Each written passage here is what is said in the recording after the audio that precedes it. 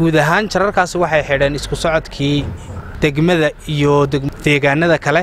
Waxaad mooddaa dhulkii inuu laba qabcadood kala noqonayo guddoomiyaha degmada geedballaadh ee gobolka gebiley xasan jirde maxamuud xasan muumin oo telefishinka c b a la hadlay ayaa sheegay in roobab laxaadle oo maalmihii ugu dambeeyey ka da'ayey degmadaasi geedballaadh iyo deegaanada hoos yimaada ay sababeen dildillaac ku yimid ee dhulbeereedka deegaankaasi oo ay ka dillaaceen godad aad u dhaadheer kuwaasi oo uu sheegay inay ku waxyooloobeen xoolaha iyo dadkuba. Degmada geedballaadh ee gobolka gebiley oo ka mida degmooyinka ku teedsan xuduudda u dhaxaysa somalilan iyo etoobiya ayaa waxa uu sheegay guddoomiyaha degmadaasi in dilaacani ku yimiday dhulka deegaanku uu jaray. Qaar ka mida waddooyinka ka soo gelayey degmada geedballaadh dhinaca galbeed sida uu hadalka u dhigay.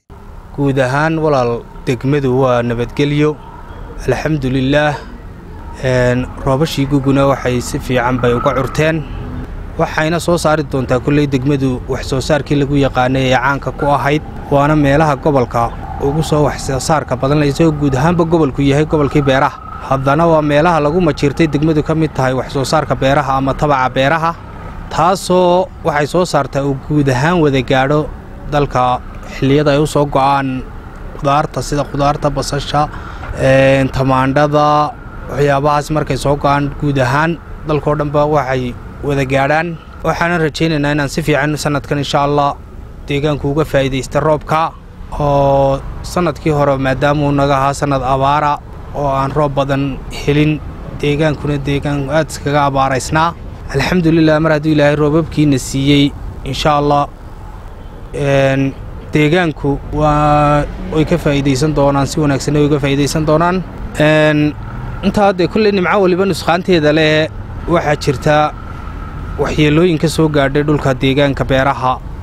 Roobashii da'ayey kaasoo ah in dhulkii uu ku yimiday qarax dilaac aan hore ugu dhici jirin ama aan looga arag oo wax cusub nagu ah. Meelaha qaarkood shan kilomitir ayay go'een. Joogga cabirka marka hoosta loo eegana jararkaa go'ay qaarkood waxay gaadhayaan ilaa iyo shan shan mitir meelaha qaarkoodna guntoodaba lama arkayo waxaan u malaynaynaa de kolley hay'adahay qusaysay iyo ku shuquda lahaana waan la wadaagnay iyo hay'adaha kale dowladdaba warbixinta waan siinay. Waxaananu rajaynaynaa inay kolley ka soo jawaabaan warbiximahaanu siinay iyo gurmadna ay u soo galaan. Waayo dadkii beerihii ay qodanayeen qaarkood baa laba u kala go'ayba. Mid kalena way jirtaayoo guud ahaan jararkaasi waxay xidheen isku socodkii degmada iyo deegaanada kale weliba xagga galbeedka marka looga baxayo degmada ah guud ahaanba waddadii isku xidhi jirtay degmada wajaala iyo degmada geed ballaadh way go'an tahay waxaana gooyey roobashaa markaasoo khasaaro maal geystay xoolo ku dhaceen ay ku dhinteen iminkana dee kulley cabsideeda nagu hayo oo aanu ciyaalkii yararaa iyo iyo dadkii habeennimada guuraynayay iyo wixiiba mushkilad ku wadaa waxaananu ka codsanaynaa cid kasta oo naga caawin kartaa in ay naga caawiso maadaamay tahay wax ka degmahaan awoodayada ka weyn.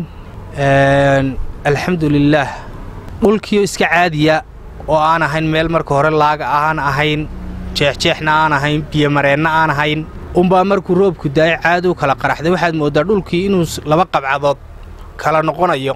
Markaa kulley dee geolojiga nimanka cilmiga dhulka way ka sheegi doonaan kulley waxyaabahan iyo waxa sababaya. Insha allah waxaan rajaynaynaa inay iyaguna nala eegaan. Waa five kilomitr baa meelaha qaarkood ay weeyaan wayna fara badan yihiin dee maaha mid iyo laba. Kulley hay'adihii ku shuquda lahaa waan la wadaagnay waanan u sheegnay warbixintana waan siinay waanan rajaynaynaa inay ka soo jawaabaan dhinaca kale guddoomiyaha degmada geedballaadh ee gobolka gebiley oo telefishinka c b a weydiiyey caqabadaha uu dilaacani dhulku ku keeni karo wax soo saarka beeraha maadaama la galay xilli beerashadii guga ayaa waxa uu ku jawaabay. Wallaahi caqabadaasi way fara badan yihiin oo kolley dee caqabaduu ku keenaya oo dhulka qaar baa beerihii la qodanayo ninku qoranayo wax soo saarka kala baxayaba laba u kala go'ay oo qarankiisii ama meeshii uu qodanayeyba laba u kala qaybsantay qaar buu saddex meelood ka maray qaar baa iminka inay dee aan waxba ka qodanin qaramadii. Kolley markaa mushkilad bay iyaga laftooda ku haysa waddadii wajaalana way go'an tahay oo kulley de ah waddooyinka ugu muhiimsan ee gebagabadii guddoomiyaha degmada geedballaadh ee gobolka gebile xasan muumin ayaa guud ahaan shacabka gobolka gebile iyo gaar ahaan bulshada beeralayda ee degmada geedballaadh u soo jeediyey inay ka faa'iidaystaan xilli roobaadka guga. Roobabku ay ka da'ayaan deegaanadaasi islamarkaasina ay qotaan beeraha. Guud ahaan somalilan gaar ahaan gobolka gebile waxaan ku boorinayaa dhammaantood inay ka faa'iidaystaan wakhti roobaadka. Dadkeenna weliba haddii ilaahay kuu rooyey miyigu inay si fiican u tabcadaan dadkeenna magaaladana waxaan ku boorinayaa bal inay xilligaa roobka soo garab istaagaan oo kii aan saacad qodan karayna ee reemiyigaa saacadaha u qodaan. Nin walba walaalkii inadeerkii waalidkii ayaa miyiga deggan inuu ka war hayo uu haddii ilaahay ku roon yahay saacadaha u qodo oo uu shinnida la ogaado maadaamay dadku sannadkii hore abaar ku jireen. Zakariya nuux ibraahim telefishinka c b a gobolka gebiley